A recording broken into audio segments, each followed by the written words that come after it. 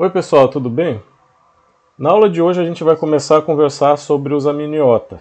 Os amniota são um grupo bastante diverso de tetrápoda que teve sua origem ainda no Paleozoico, mas que durante o Mesozoico passou por vários eventos de diversificação. Entre os tetrápodes viventes, a gente encontra vários descendentes dessas linhagens que diversificaram durante o Mesozoico. Entre esses animais estão os répteis viventes, que a gente reconhece como lagartos, serpentes, crocodilianos, tartarugas, além das aves e dos mamíferos.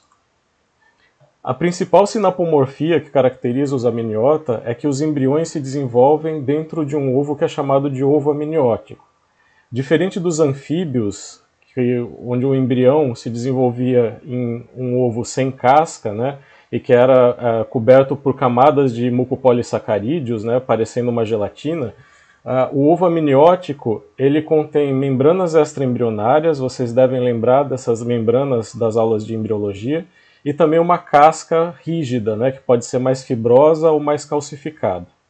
Essas membranas extraembrionárias, para quem não lembra, são o alantoide, o córion e o amnio. Né? O córion é a membrana mais externa e, ela, e ele vai servir para troca de gases. Né? A, a casca do ovo é porosa e o córion vai permitir a permeabilidade né, de oxigênio e gás carbônico e é ali que vai, se, vai possibilitar a respiração do embrião. O alantoide ele é uma outra camada, um outro anexo embrionário que serve como reservatório para resíduos metabólicos, principalmente. Né? O embrião ele está ali é, processando o alimento dele, o vitelo, e está gerando resíduos, né? excretas, e esses excretas precisam ser armazenados em algum lugar. Como existe uma casca fechando o ovo, eles não podem ser liberados no ambiente. Então o alantoide recolhe o excesso de excretas do embrião. Além disso, o alantoide também serve para redistribuir uh, o oxigênio e o gás carbônico nas, nas áreas do ovo onde eles são mais necessários. Tá? Uh, o amnion, por fim, a terceira membrana extraembrionária, vai ser a membrana mais externa. É ela que envolve o embrião, é uma membrana que está cheia de líquido, né, o líquido amniótico, então ela vai prevenir que o embrião perca água né, por evaporação e também vai fornecer proteção mecânica contra choque para o embrião. Então o embrião ele fica envolto pelo líquido amniótico e ali ele fica protegido de choques físicos. Mesmo os mamíferos, né, que também são amniota, uh, eles também têm os embriões uh, de se desenvolvendo dentro de um ovo amniótico. É claro, uh, tirando algumas linhagens, como os monotremados, né, os ornitorrincos e as ecdinas, que ainda colocam ovos, os embriões se desenvolvem dentro do corpo da mãe. E lá, o corion e o alantoide, eles são cooptados, né, ou são uh, modificados de forma a formar uma placenta, né, através da qual o embrião vai poder realizar as trocas gasosas e também receber nutrientes. Já o amnion, né, ele fica bastante evidente como a membrana que recobre o embrião, né, a bolsa amniótica, e o embrião fica ali dentro do líquido amniótico, como dentro de um ovo de outros amniotas. Outra característica dos amniota é que a respiração é, se realiza por um bombeamento de aspiração. Então a, a respiração se dá por pressão negativa. O que isso quer dizer? Que a musculatura e os ossos do organismo eles se expandem para que o, que o pulmão aumente o volume e com isso haja expiração do ar. Então, esse é um, uh, um tipo de respiração realizada por pressão negativa. Diferentemente, os anfíbios utilizam o que a gente chama de bomba de pressão positiva.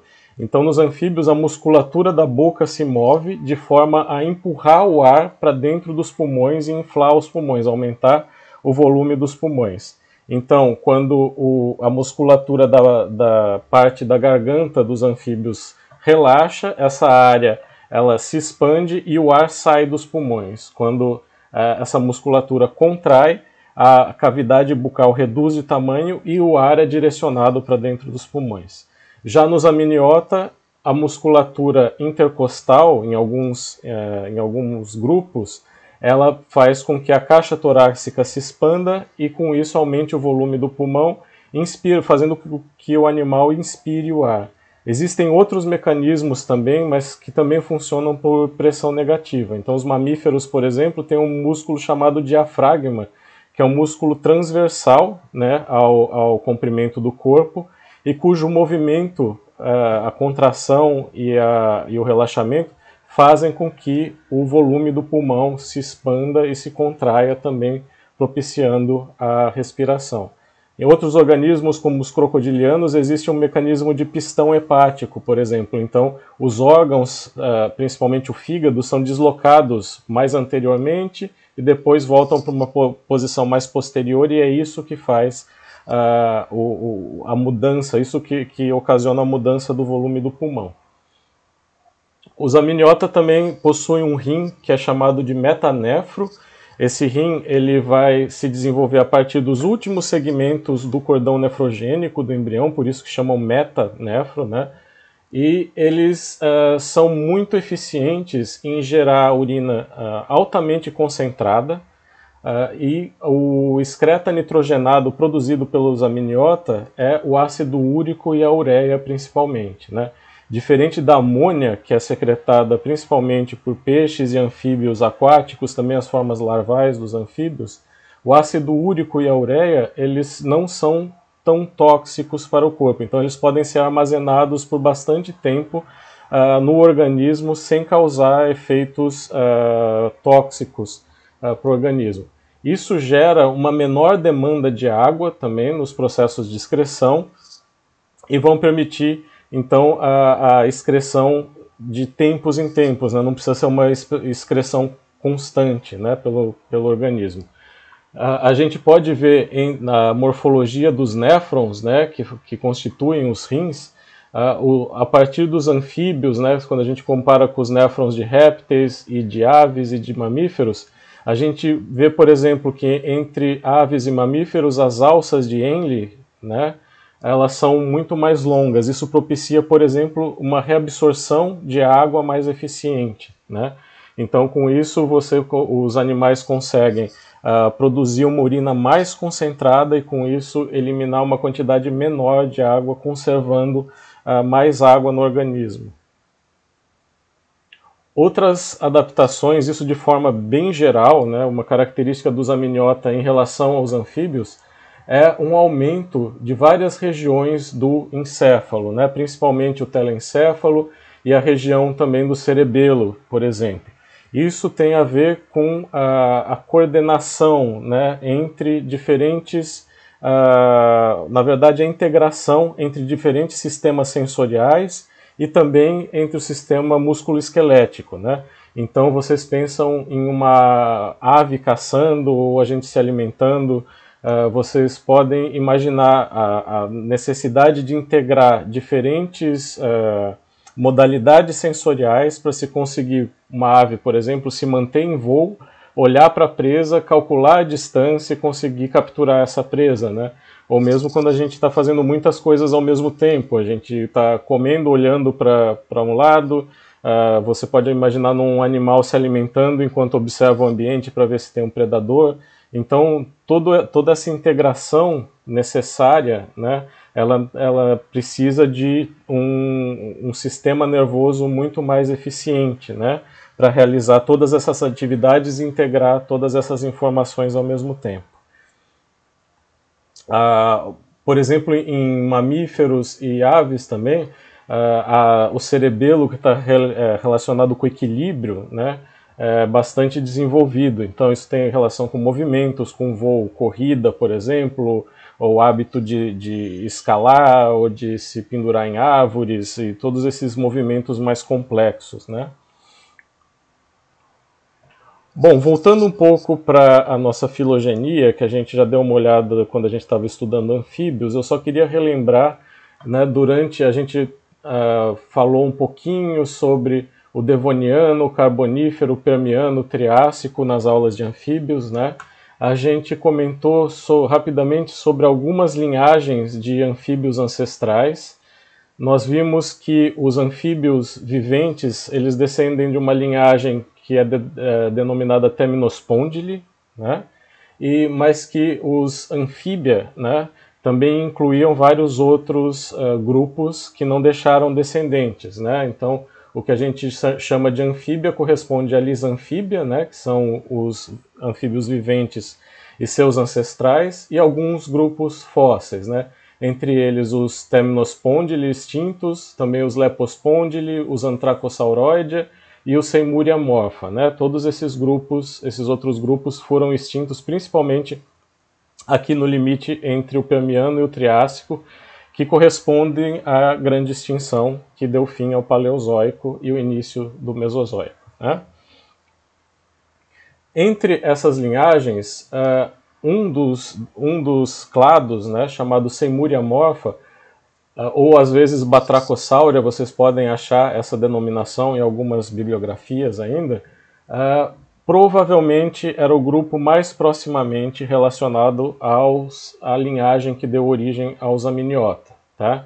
Uh, já eram organismos com uma morfologia muito mais uh, adaptada à vida em ambiente terrestre. A gente vê vértebras e costelas bastante robustas, uh, membros posteriores e anteriores bem desenvolvidos, uh, uma cabeça bastante robusta, com os olhos bem dorsais. Provavelmente a gente já tinha alguma um, uma vida em ambiente terrestre bem, bem desenvolvida né, entre o Semur e a Morfa.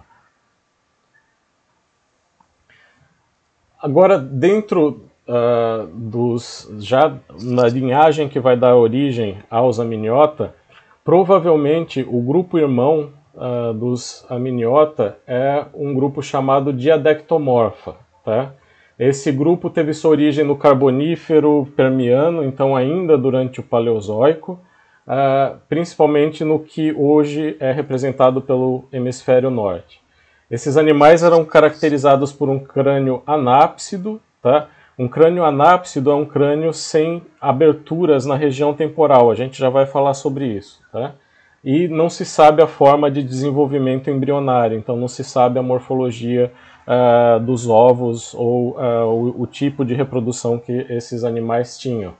Uh, então eles são caracterizados por uma morfologia mais parecida com esse, esse fóssil do gênero Diadectes, por exemplo, então a gente vê também uma morfologia bastante uh, sugestiva de uma vida em ambiente terrestre. Entre uh, as, as, características né, dessa morfologia, as costelas bem formadas, as vértebras bem diferenciadas, né? Então a gente vê regiões diferentes da coluna vertebral, o que sugere que a coluna era muito eficiente em sustentar o peso do corpo, as costelas bem desenvolvidas, eficientes em proteger os órgãos internos, né? Uma cintura escapular e uma cintura pélvica bem desenvolvidas, os ossos são bem grandes, né, o que sugere também uh, ligamento com musculatura muito bem desenvolvida. Os membros também com ossos muito robustos, né, muito uh, largos. Uh, então, isso tudo sugere uma vida bastante adaptada ao ambiente terrestre. Né? Como a gente vê aqui nesses esquemas de crânios de representantes dos diadectomorfa, além da órbita, né, essa abertura onde se encaixa o globo ocular, a gente não vê nenhuma outra abertura aqui na região temporal, e é isso o que caracteriza um crânio anápsido. Tá? Bom, os amniota, agora já indo para a linhagem que deu origem a esse grupo, a, a, primeira diversificação se deu provavelmente no Carbonífero, né, no Paleozoico superior, já no finzinho então do Paleozoico. A, as, a maior diversificação, no entanto, desse grupo vai ocorrer no Mesozoico depois da extinção do Permiano Triássico. Tá? Então, a partir do fim uh, do Paleozoico, algumas linhagens sobrevivem e uh, se diversificam muito em número de famílias, de gêneros, de espécies, e algumas dessas linhagens deixam descendentes uh, entre os tetrápodes viventes, né? incluindo uh, os sinápsida, né, que vão dar origem aos são os ancestrais dos mamíferos, né, e que incluem os mamíferos também, uh, os testudines, que são a ordem das tartarugas, e os arcossauromorfa, que são representados hoje pelas aves e, pelos crocodilianos, e também os lepidossauromorfa, que, que são o grupo que inclui uh, as tuataras, os lagartos e as serpentes. Tá? Como que era a Terra durante o Carbonífero, né? Uh, ainda no Paleozoico? A gente lembra que o Carbonífero é uh, o período geológico da Terra compreendido entre 359 e 298 milhões de anos antes do presente.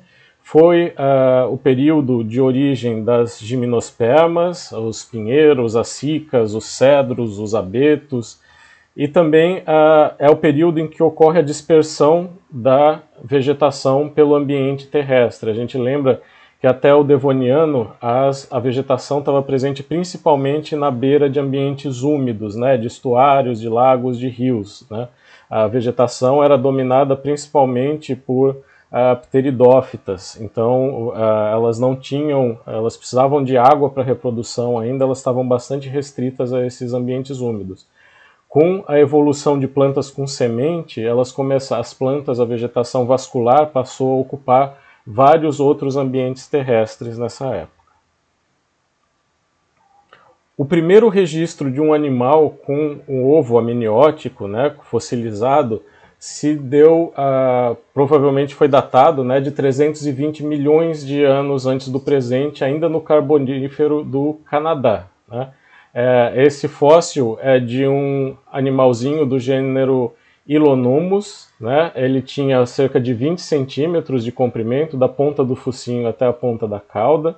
Tinha essa morfologia que lembra muito um lagartinho né, vivente, um dos lagartinhos que a gente vê hoje em dia, tá? Apesar de não ser uh, propriamente um lepidossauro, não ter relação com essa linhagem que deu origem aos lagartinhos viventes. Uma coisa curiosa é que entre esse registro, que foi datado de 320 milhões de anos, até o início do Jurássico, há cerca de 215 milhões de anos, não se tem nenhum uh, registro uh, de ovos preservados uh, no registro fóssil. Então, isso causa um, é, é chamado de egg gap, né, um intervalo de ovos em que nenhum ovo foi preservado no registro fóssil. Então, a partir do, do Jurássico, né, dos fósseis de, datados do Jurássico, começa-se a reencontrar fósseis com ovos ou fósseis de ovos né, no registro fóssil, mas não se sabe, não se sabe muito sobre a evolução né, da morfologia, por exemplo, sobre a composição da casca dos ovos, o que, que foi alterado durante esse intervalo de tempo sem nenhum registro fóssil. Né? Uh, são aproximadamente 100 milhões de anos de diferença né, entre o primeiro registro e o segundo registro mais antigo de ovos fossilizados. A partir